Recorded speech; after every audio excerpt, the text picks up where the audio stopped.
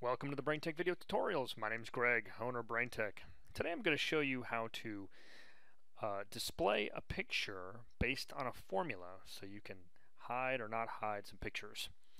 So here I've got Excel open and what I'm going to do is I'm going to create a secondary sheet here and I'm going to insert some pictures. So I'm going to make my cell a little bit bigger to accommodate the picture. We're going to name this cell the name of the picture that we're going to use. And here I've got my two pictures. So I'm going to name this one Brain Tech. Oops, not like that. Oh, right here, Brain Tech. And then we're going to insert a picture. Not quite big enough, so let's just, okay, there we go. I'm going to name the picture Brain Tech. So both the cell and the image are Brain Tech. Alright, so this one's going to be Fairbanks. And we're going to insert picture. Center that up, and Fairbanks. Alright, next we're going to go to sheet number one. We're going to put our formula here and just cell A1.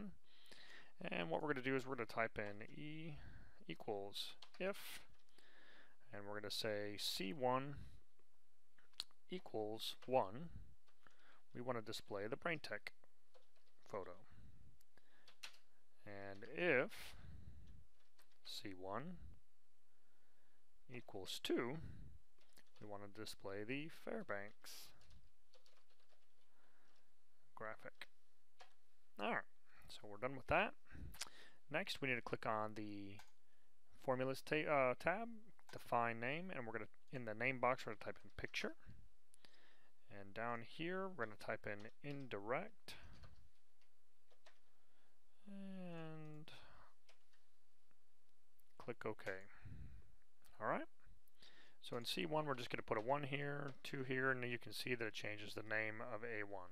So our formula works. Good. Next, we're going to insert uh, just any picture.